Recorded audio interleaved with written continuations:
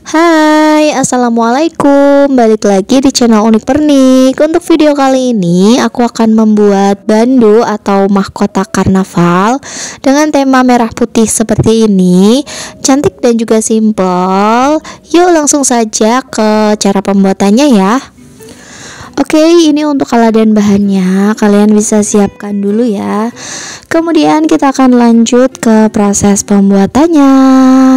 Yang pertama, ini aku ukur dulu pakai penggaris untuk kertas karton yang warna merahnya. Jadi ini biar nanti dipotongnya itu rapi gitu ya.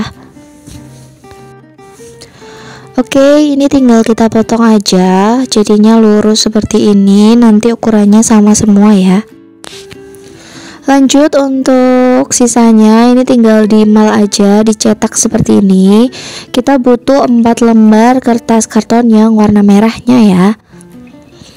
Ini untuk lembar yang terakhir.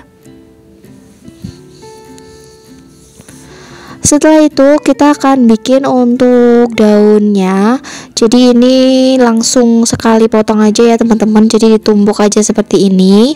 Kemudian dilipat sama panjang. Terus ini tinggal dipotong membentuk daun. Kalian bisa ikutin aja dan pelan-pelan. Ini masih agak lebar jadi aku agak tipisin lagi ya. Untuk bentuknya itu sesuai selera kalian aja. Kalian pengen yang daunnya itu model agak gembul atau yang agak kurusan ya Next kita akan bikin untuk potongan kriwelnya di bagian samping. Ini udah lebih langsing jadinya seperti ini 4 lembar. Terus ini aku potong aja seperti ini untuk bikin kriwelnya ya teman-teman.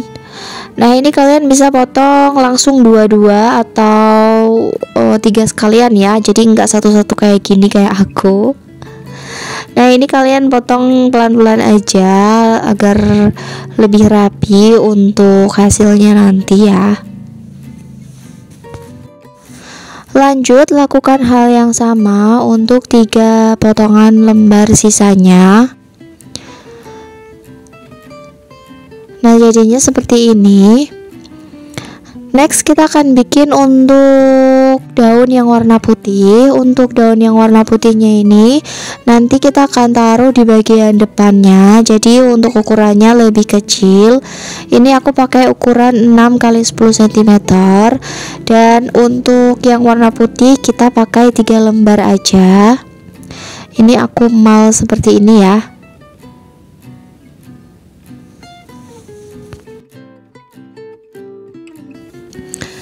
Oke ini udah jadi untuk potongan kertas warna putihnya. Kemudian ini panjangnya aku mau potong dulu 10 cm aja.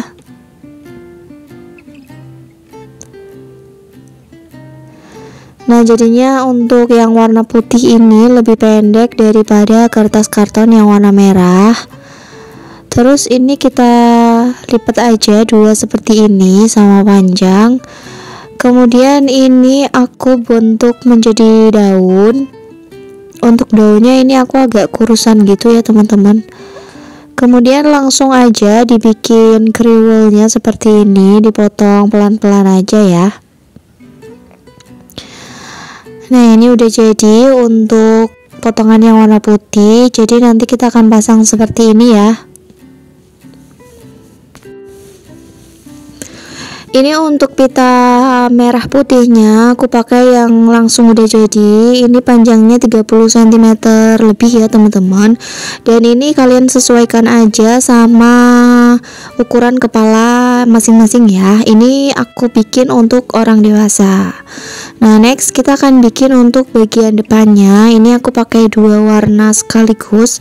Ada merah dan juga ada warna putihnya. Jadi nanti kita akan selang-seling seperti itu ya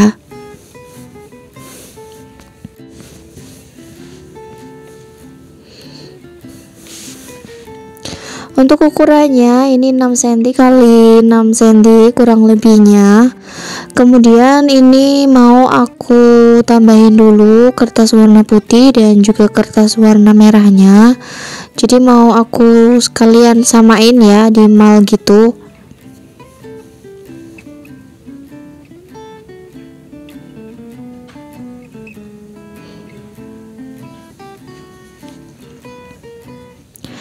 Oke, ini udah jadi seperti ini. Ini kita mau lipat aja dan ini aku bentuk daun tapi ukurannya itu lebih kecil. Nanti kita akan pasang untuk di bagian depannya ya, teman-teman.